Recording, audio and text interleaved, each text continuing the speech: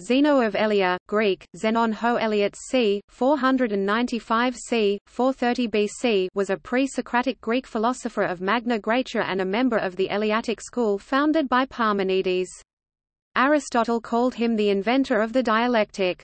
He is best known for his paradoxes, which Bertrand Russell has described as immeasurably subtle and profound.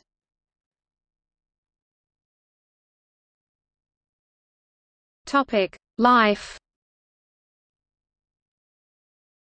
Little is known for certain about Zeno's life. Although written nearly a century after Zeno's death, the primary source of biographical information about Zeno is Plato's Parmenides and he is also mentioned in Aristotle's Physics. In the Dialogue of Parmenides, Plato describes a visit to Athens by Zeno and Parmenides, at a time when Parmenides is about 65. Zeno is nearly 40, and Socrates is a very young man. Assuming an age for Socrates of around 20 and taking the date of Socrates' birth as 469 BC gives an approximate date of birth for Zeno of 490 BC. Plato says that Zeno was tall and fair to look upon, and was, in the days of his youth, reported to have been beloved by Parmenides. Other perhaps less reliable details of Zeno's life are given by Diogenes Laertius in his Lives and Opinions of Eminent Philosophers, where it is reported that he was the son of Teleutagoras, but the adopted son of Parmenides, was skilled to argue both sides of any question, the universal critic, and that he was arrested and perhaps killed at the hands of a tyrant of Elea. According to Diogenes Laertius, Zeno conspired to overthrow Nearchus the tyrant. Eventually, Zeno was arrested and tortured. According to Valerius Maximus, when he was tortured to reveal the name of his colleagues in conspiracy, Zeno refused to reveal their names, although he said that he did have a secret that would be advantageous for Nearchus to hear. When Nearchus leaned in to listen to the secret, Zeno bit his ear. He did not let go until he lost his life and the tyrant lost that part of his body. Within men of the same name, Demetrius said that the nose was bit off instead. Zeno may have also interacted with other tyrants. According to Laertius, Heraclides Lembus, within his Satyrus, these events occurred against Diomedon instead of Nearchus. Valerius Maximus recounts a conspiracy against the tyrant Phalaris, but this would be impossible as Phalaris had died before Zeno was even born. According to Plutarch, Zeno attempted to kill the tyrant Demylus.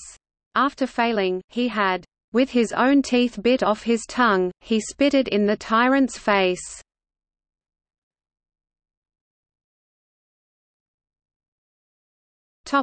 Works.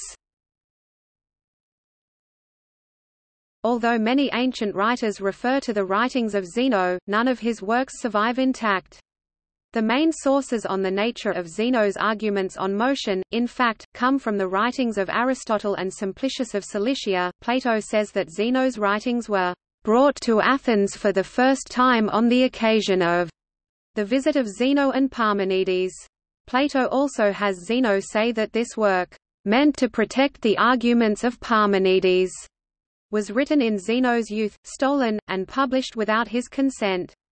Plato has Socrates paraphrase the first thesis of the first argument of Zeno's work as follows. If being is many, it must be both like and unlike, and this is impossible, for neither can the like be unlike, nor the unlike like.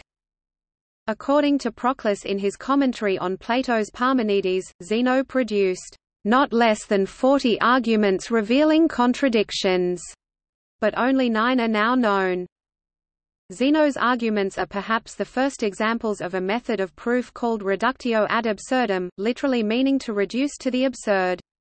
Parmenides is said to be the first individual to implement this style of argument.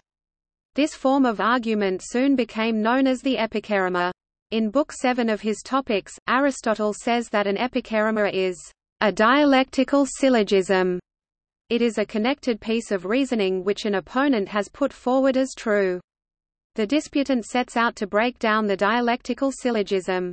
This destructive method of argument was maintained by him to such a degree that Seneca the Younger commented a few centuries later, If I accede to Parmenides there is nothing left but the One, if I accede to Zeno, not even the One is left. Zeno is also regarded as the first philosopher who dealt with the earliest attestable accounts of mathematical infinity, according to Sir William Smith, in Dictionary of Greek and Roman Biography and Mythology 1870, Others content themselves with reckoning Parmenides as well as Zeno as belonging to the Pythagorean school, or with speaking of a Parmenidean life, in the same way as a Pythagorean life is spoken of, and even the censorious Timon allows Parmenides to have been a high-minded man, while Plato speaks of him with veneration, and Aristotle and others give him an unqualified preference over the rest of the Eleatics.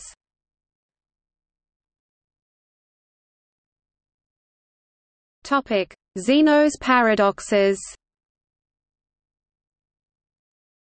Zeno's paradoxes have puzzled, challenged, influenced, inspired, infuriated, and amused philosophers, mathematicians, and physicists for over two millennia. The most famous are the arguments against motion described by Aristotle in his Physics, Book 6.